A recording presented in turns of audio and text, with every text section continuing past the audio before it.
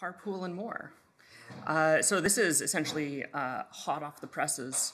Uh, we merged the spec last night, night before, uh, but some work's already gone into this, um, and uh, we hope to have a, an implementation to share relatively soon, um, or, or, a full implementation at least. Uh, and yeah, we're going to talk about the pragmatic improvements to syncing performance.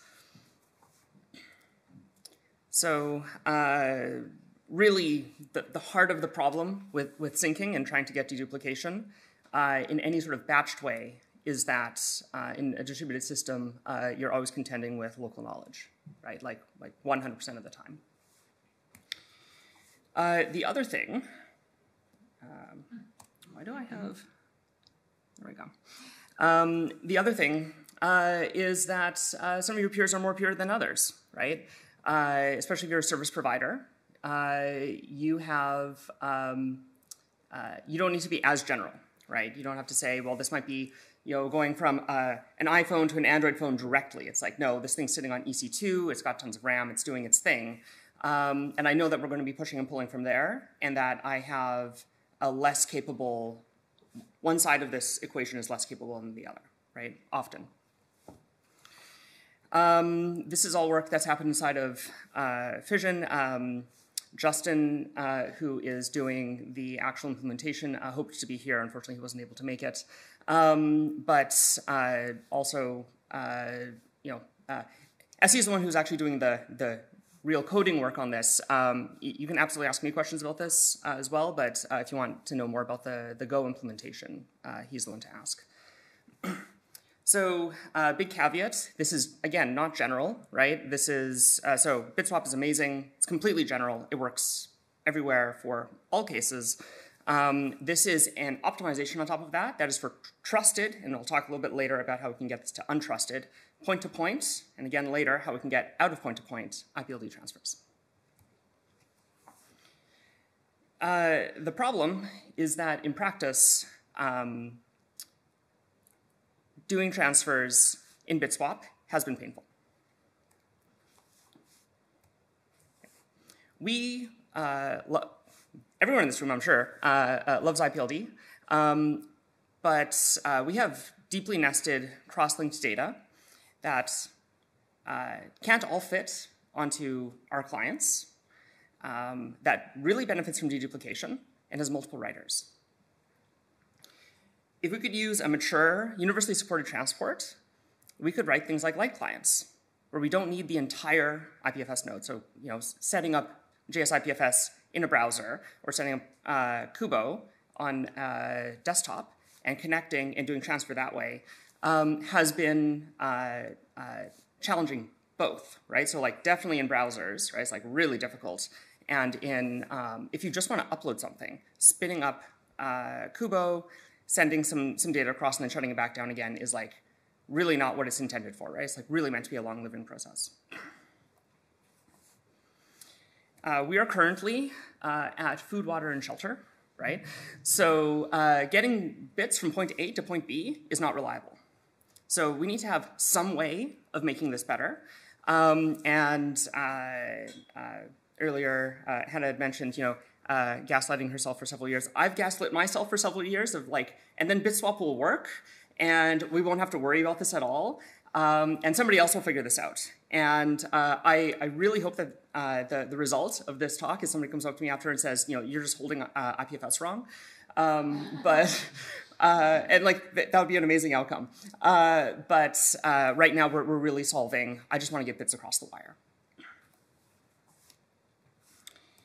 Uh, so again, uh, browsers, uh, GitHub Actions as well. So if we want to um, have like a publishing flow, things like that, uh, and also CLI. so these are the main places that we're running this stuff today. Um, I also know you know uh, a bunch of other teams have tried running this stuff on native mobile as well, and mobile is where people do most of their computing these days. Like your your average user do do not walk around with one of these, right? So uh,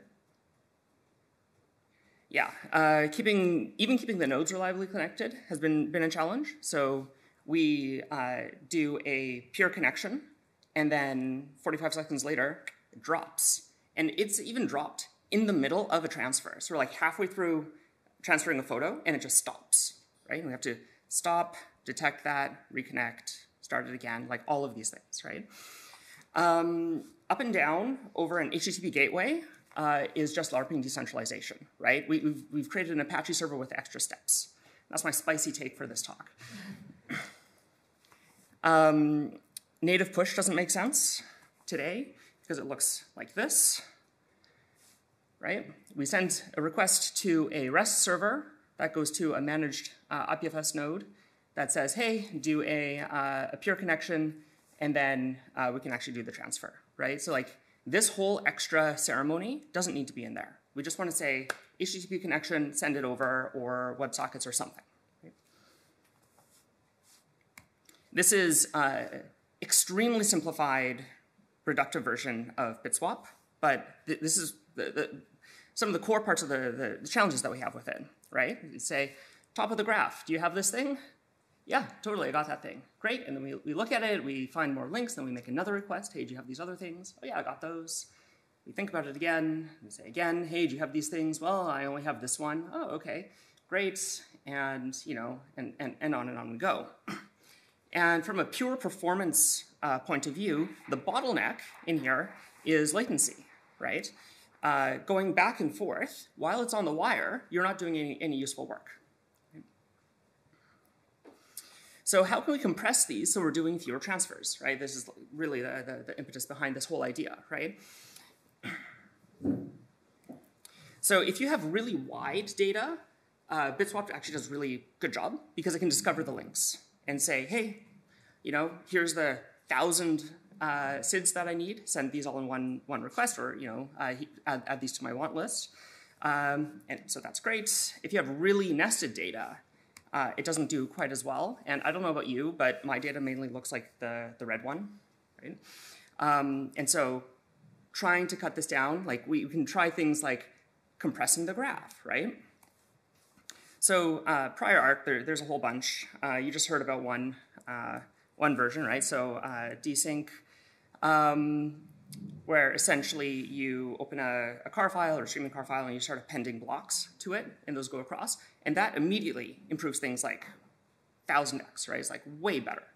Um, GraphSync, uh, I was kind of hoping that GraphSync would solve all of our problems. Um, it doesn't quite do the deduplication part that we want. Um, but we can reuse a lot of this, right? We're, we're working at an orthogonal point from uh, things like selectors. So you should still be able to use selectors and say, I want this part of the graph, and then use the rest of carpool, which we'll talk about in a second, to say, but not the stuff I already have, right? Uh, the fundamental problem is that you know the top of the thing that you want, and you know the parts that you have, but you don't know in between? Um, in the Web Native File System v1, uh, we had a hashed history table, and we could use this to sync as well, because it essentially turned into a stream. It was essentially a manifest that we could then analyze and say, okay, I'll, I'll send these across. Um, and then a lot of um, projects also use a, a, something called a Merkle bloom, where you have a Merkle tree that uh, its index inside of it is various sized bloom filters that talk about its membership. So this was kind of the, the original inspiration for where we end up going with it. Uh, there's actually tons of research in the space, uh, how to do um, uh, uh performance graph transfer is like actually a well-studied area. It's a literally an impossible problem, um, but you can do better by uh, creating trade-offs in the system. So doing a one-to-one point-to-point transfer, Overall strategy is to start by reducing the scope of things that you're looking at. So we're not going to talk about all the blocks in your store. We're going to try to somehow, using some heuristics, whittle that down. Send some, excuse me, some manifest or index with your request, request and then uh, use heuristics to find uh, deduplication. And even if the deduplication is wrong, like even if it's slightly off, that's fine because we can always clean it up later. And our worst case scenario if we have no deduplication is it starts to look like BitSwap. So we're always doing somewhat better than BitSwap by using heuristics. Um, this has been our uh, uh, internal rallying cry for this, right? Is like uh, objects in the mirror are closer than they appear. Um, we can uh, stick them together and send them over the wire, but if you don't need to send something that's even better, right? If you have them locally already. So you need to find some balance um, between these two, right? So we're trying to cut down latency, but we're also not, uh, you know, you can cut down latency immediately by saying, well, just send me your entire store, right? Like uh, up front, and that's going to have other consequences, right? So we, we still want to keep this deduplication. And the curve looks a little bit like this, right? Where if you're extremely inaccurate, you get really good latency because you just start sending stuff, right? Um, and then on the far other end, you're really accurate. You don't send any duplicate blocks, or very, very few, um, but you have this higher latency because you're always going back and forth. So we want to find roughly this section here and play in this area. Um, so the TLDR is we get enough of a performance improvement that we can afford to be a little bit messy, right? We're going to have some duplication, um, but we're going to do much better on, uh, on latency. And we're going to miss some blocks sometimes, and that'll trigger extra rounds, but that's also okay, because we're going to be somewhere in this, this, section. So step one, reduce scope. Um, if you're coming from a, a, well, actually, let me bring all these up. Um, if you have no overlap or you're going from a complete cold start, you just start by making guesses, and you, over subsequent rounds, so this middle one, uh, you start to learn more about what the, your other peer has, right? Um, and you're going to start sending back and forth uh, information. So you start to learn more as you go. Um, through multiple sessions, so the next time I connect, if I haven't cleared the cache from last time, I already know some stuff about you, or you can send in the request, hey, I'm, up, I'm pushing or pulling an update to this data structure, right? This thing in DNSLink or in ENS or relative to this other CID. And we can diff that and do much, much, much better uh, in, in that case. So some back of the napkin math, uh, if we just do uh, a list of CIDs, um, depending on the, the version of CID, that's like, you know, let's call it 53 characters roughly. Uh, each uh, times half a million nodes, that's 26, 27 megs. Um, and gzipped, that's about 12, 11, 12, um, which is too big to send across if we want to get you know, five megs of data, right? Like just ends up being huge, especially in a, in a web context where you're sending way too much um, data uh, upfront. So can we do better? Uh, Bloom filters uh, are a probabilistic data structure. Um, so sorry if this is review for, for some of you, um, but just a really quick primer. Uh, you have a, a, sequence of bits. Uh, each of them is a bucket, and it's just going to be 0 or 1. Uh, you take an element, you hash it uh, k times, and you take the hash as an index number and you set that to 1. And you do that for all the elements in your, uh, in your sets. And some of them will overlap some of the time, uh, so sometimes they won't. And uh, you'll never get false negatives. So if you test by hashing an element and, and, placing it inside, and, and it doesn't change, then yep, this is, um, this is in the set already. Um, it'll never tell you that something isn't there when it is, um, but it might tell you that something is there when it isn't. Right? So there, it, you're getting a much better size by giving up a little bit of accuracy. So uh, if we take this um, half a million nodes with a false positive rate of one in a million, so in, in general, we, we recommend uh, adding one order of magnitude to the false positive rate. Like you can tune tune the parameters on, on a Bloom filter. Uh, that's about 1.7 megs, and uh, that's 93% savings over the, the ungzipped version. And gzipped, uh, that's 92%, so uh, uh, not quite as good in, in practice, but you know pretty, pretty close. Um, and that's under a meg now. Um, so we've saved about an order of magnitude uh, over a, a, plain manifest file. Um, and on average, because we have this order of magnitude um, uh, better in the false positive rate, usually you'll actually have zero false positives. Uh, on, on average, you'll get one every 10 requests or so. And uh, you can also adjust the size of those based on how many elements, you know, the size of set that you're working with, right? It's all, all, all tunable. So the stages uh, are selection. So, uh, you know, initially saying this is the kind of thing that I want, trying to do some narrowing on that. Uh, you may or may not be successful, uh, but you try to do some narrowing. the actual transmission, doing the analysis on the graph that you've gotten back, and then doing cleanup. So anything that, um, you know, at the end you might have some, uh, it's called stragglers in the, in the literature, um, last final elements, and then you have to say, like, here's just a manifest file, like, give me the last few. Uh, and then you operate these in rounds. so as you learn more about the graph, you can narrow down further and further and further um, as you go.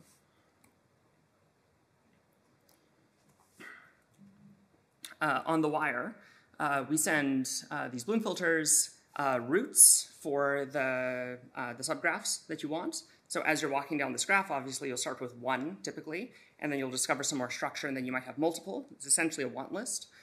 And then we're going to construct a car file and send that across. Um, and pull and push.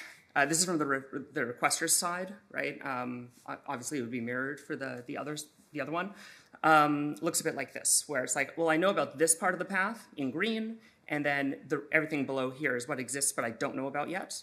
And vice versa, when you're pushing, it's like, well, I've already pushed this stuff, never send this again. Uh, and then below that is like, well, I know I need to push this one. And then this red dotted line is, uh, I got the um, Bloom filter and it said to not send this one. But on the next round, they're going to tell me explicitly, hey, I need this subgraph, this CID directly, right? So you're never going to get stuck. Uh, this is most, like 95% of, of uh, the, the, high level for pull. Um, so uh, if you have previous context, uh, great, you can uh, pull that in, analyze which routes you need, and construct a new Bloom filter, send that across, and then you'll get back a car file with a bunch of records in it. and now you have an updated Bloom on the requester side and on the, on the sender side as well. And vice versa, if you're pushing, uh, it's, it's not exactly the same thing but reverse, but it's pretty close. And this is in quite a bit more detail in the spec, as you can imagine.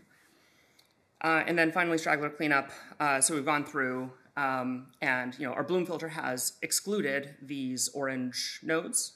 We don't know about the red ones yet. On the next round, um, the other side is going to say, hey, uh, I need these specific ones, these subgraphs, you didn't send them to me. Let's do the next round and let's clean these up.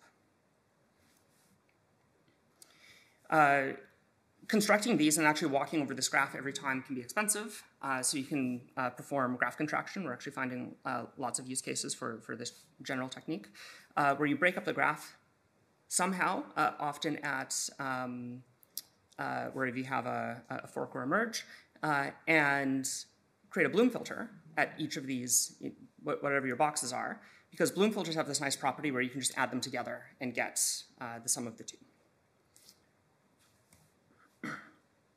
Carpool, uh, we actually haven't written the, the complete spec for this yet, um, but we want to recover having multiple providers so that we can get that nice, um, you know, streaming in true parallel, uh, do work sharing, um, and this is a stepping stone on the way to having this be trustless.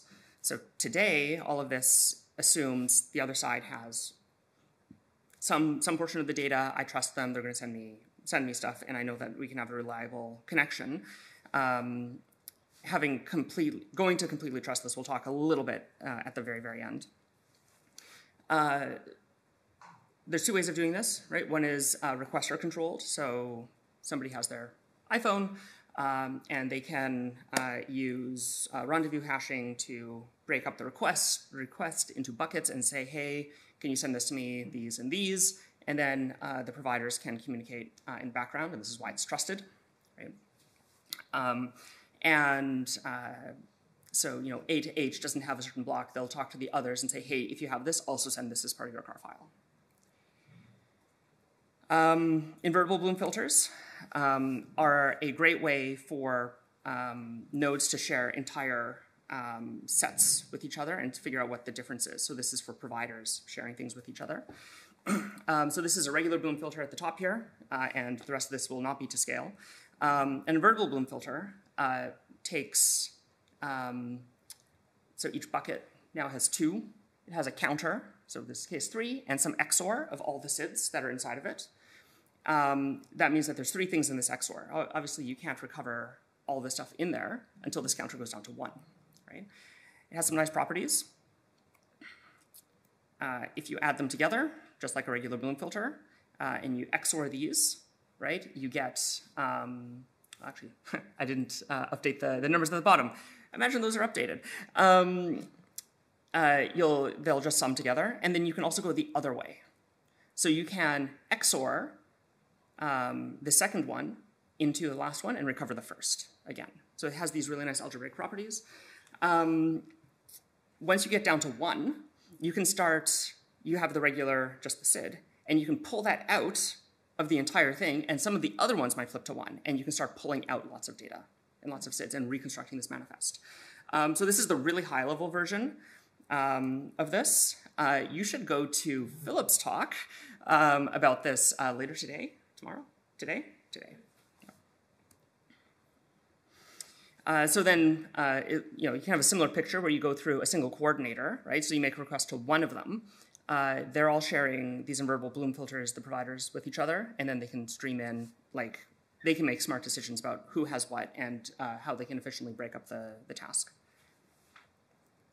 The other thing you can do when you have multiple, multiple providers um, is uh, use techniques like linear network coding. So uh, in this case, we have three providers. Uh, they have uh, set A and B, or streams A and B. And then the third one will take the XOR, like the um, bitwise XOR of A and B. And now if you get any two of these, so you get A and B, obviously you get back A and B. You have A and uh, A XORed B. You can pull that A out with XOR, because XOR is amazing, and recover B. So you only need, uh, if you're on an unreliable network connection or you just want to get you know, uh, from from multiple sources and you, you, know really performance conscious, this is a really nice way to uh, to go up into it and, and do that. And finally, uh, some bonus wild ideas for the future, like private set intersection, private set union, neural network compression, uh, XOR folding, and more. Um, and I'll just really blow through these. Uh, so uh, private set intersection and, and union.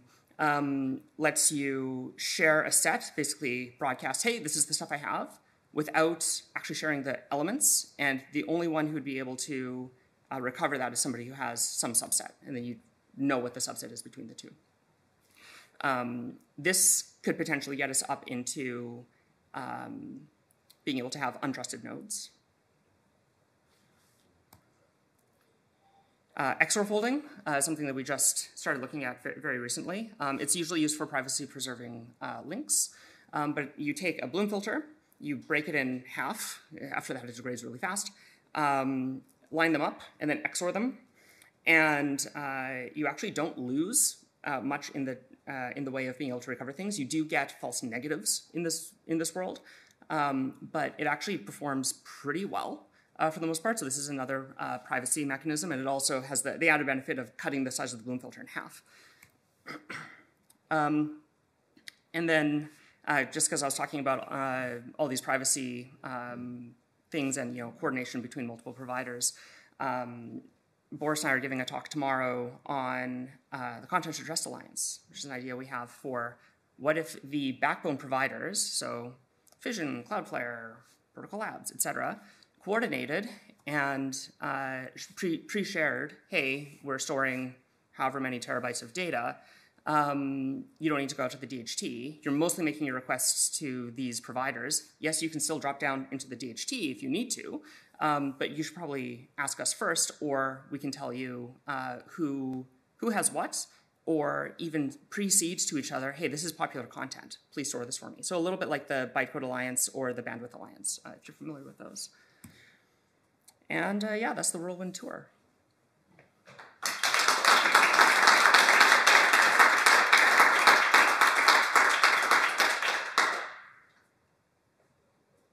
Thoughts? Is the is the when I send you the pile of CIDs that I have, mm. um, how does how does this help me with my like deep graph problem? Mm. So let's say that you're on you're the you're the requester on a phone, right? You have hundred thousand blocks, right? You stick that all into um, uh, into the Bloom filter, and you say, I want this, everything under this content address, except for the stuff I already have. You send that to the server. It starts to construct a, um, a car file skipping anytime it sees uh, something that's in the Bloom filter. And so it can start to carve out, okay, I think that you have this bit only, and if the Bloom filter has a false positive, we will clean that up on the next round. But I don't have to now wait and go back and forth to be like, you know, here's one, la- one layer, and now, okay, this is the diff, and ask for those again. We just grab exactly what you're telling me to grab and send it in one go. So could be eating lots of bandwidth while I like you're sending me lots of data that I have to now verify to make sure that like this is this is what I'm looking for, not just like sending me garbage. Yeah, so it's a trusted connection. Right. Th- Am I correct that the reason y'all that you guys mostly have deeper graphs is because of the history of the history fact features of BFS? Uh, so that's part of it. Yeah. Um, so we, we have a few places um, where this happens. So the, the history is a big one because now we have uh, every change to every file over time. So that gets big. Uh, actually, also and and and and linear and and deeply cross cross linked. Right. So it's not just going this way. It's also going like What is it? Explain the crosslink because I want to know this right now. Selector crosslink stuff is a disaster. Uh, so if I have uh, a directory, so I think some subdirectory, uh, and I add a file to it, it creates a new directory, points down to that new file, and all of the old files. So you have structural sharing. Okay. Right, Yeah. yeah. Yeah. Yeah. yeah. Yeah. What? Right. Which is that. You Yeah. should be able to do that. But it should not be a disaster on that. yeah, yeah, we, we should be able to sync a graph with GraphSync. Yeah. Yeah.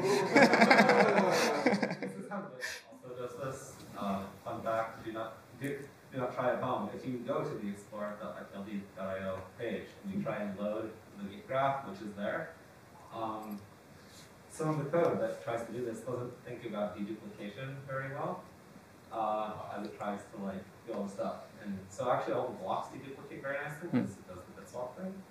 But um, some other stuff, which is trying to walk the graph and basically generate a manifest for you, is very sad. Mm, yeah, we, we also, uh, speaking of deduplication in, in these things, uh, so the size calculations inside of WNFS are like hilariously wrong because it's counting for every new file you add, it's counting the entire history recursively every time. So people open up um, the, uh, the Gateway Explorer and it's like, oh yeah, you have like 30 petabytes of data. it's like, no, I've got like a directory. Sorry. So it's interesting because we often talk about, oh well, UnixFS you don't really need like a GraphSync for it unless it's a deeply nested directory, but if you turn on history, you do. Like, um, so that's, that's that's an interesting piece. And yeah, I mean the selector performance on crosslink can be eliminated by just assuming that you're always if you're like it all comes down to like weird partial selectors, which it doesn't sound like you're doing. No. So uh, the selector portion is completely separate from this sync layer, right? So you could use selectors and say, hey, give me this subgraph inside of something else. Yes. But this is specifically about the deduplication and uh, batching of the requests. So they would work together. Yeah, the, the, the with partial selectors, you lose the property because of the selector language is so complicated. If you use partial selectors, you lose the property that if you encounter a link once, you don't have to traverse. You can like get to it multiple ways, and you can go through it both times, and you can skip that as long as you're it's like an explore all because you're always gonna only there's no like hidden things. It's a long, it's, it's a whole mess. But in any case, we should just make it so you don't go through this twice, and then if people miss a data, they'll complain with partial selectors, and it will be rare. Um, the the but um, yeah, you could and, and you can also you could apply the the Bloom filter technique to like uh, like a selector query. Yeah, yeah, a- absolutely. And even you know if uh, in GraphSync, uh, you know you miss uh, something because you're deduplicating the link, right? You have this, Yeah. this partial thing. Can't, can't you then get it on the next round, or is it is the expectation that you'll get it in one go? I mean, if you're if you're sending Bloom filters, then you probably should be giving up that expectation anyway. So Yeah. which is fine. Like, I mean, I get like we're we're we're trying to eliminate the BitSwap. Like, get it in 500 goes down to three goes. Yeah, yeah, totally. So, Is the is the query that they're sending always like if I send you just this you the everything below, or is there a ma- like in wages, like I, I I'm interested in like five year old sleep or like fully explore like three leaves here. Yeah, so we, we haven't done that. That's, uh, I mean, and, and please, please correct me if I'm wrong, but yeah, that, that's the role selectors. So we haven't implemented that here yet. That's something that we'll want for sure at some stage. Um, but yeah, we're, we're literally just starting with like, Yeah, but what's the default right now? Is just everything below. yep, yeah. Uh, and so like the, the kind of use case we have, right, is um, I've pulled the latest version of the file system, right, uh, and lazily. So I'm not, I don't have the whole thing. I just have like one stripe, and somebody else has made some writes, and I want to grab the changes. So I want you to give me this, um, like the top layer, um, only. And uh, actually, we um, yeah, we, we do ask for things um, uh, like lazily as well. So we might be like, hey, only give me this one one specific block, I guess, um, and then uh, and then switch into this protocol, right? For like now, give me this subdirectory. Yeah.